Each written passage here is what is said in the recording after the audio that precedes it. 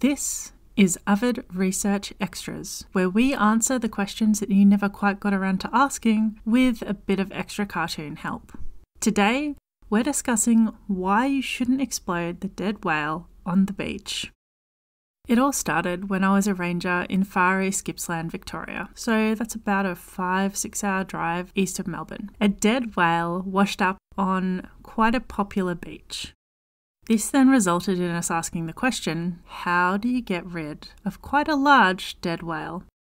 Personally, I wasn't too sure, but suddenly there were a whole lot of experts on our hands. People who had all sorts of ideas from you should bury the whale, you should tow the whale out to sea, and of course, you should blow up the whale. So it looked like we had three options 1. Bury the whale, 2. Tow the whale back out to sea, and 3. Explode the whale, also known as the people's favourite. Let's have a look at those three options.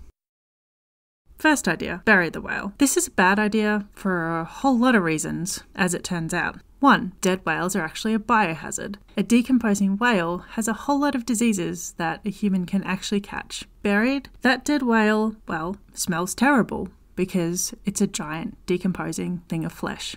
This isn't particularly good for any form of tourism. It's also, as it turns out, a source of ivory. There are ivory hunters out there, even in Far Gippsland, and the ivory hunters would have come to dig up the whale. Additionally, the whale was leaching out this smell that said, Come here, sharks, there is a buffet. That would not have gone away had the whale been buried, and for months and months afterwards, the whale would have been essentially a siren to all the sharks in the local area saying, Come and eat me. Again, not fantastic for tourism.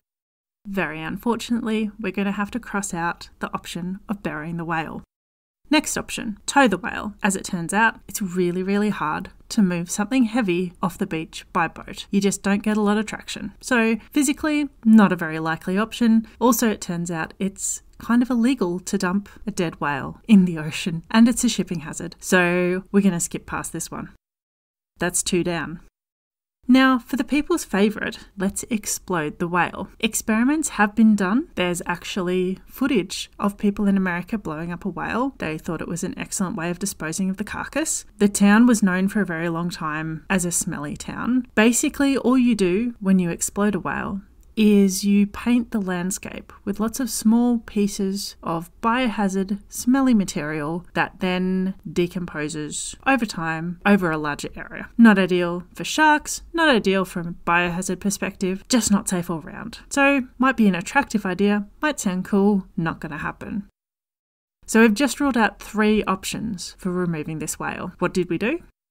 We saw that bad weather was on the way, so we decided to wait and see what nature would do. As it turns out, the weather was bad enough to scoop the whale back off the beach and then transport the whale very conveniently to the local boat ramp. This was clearly to the glee of the sharks that had been waiting this entire time to eat the dead whale. There were significant portions of that whale missing in shark shaped holes. Once the whale had washed up on the boat ramp, it was then available to large machinery and was buried in a quiet inland spot where it is able to decompose, safe from sharks and from ivory hunters.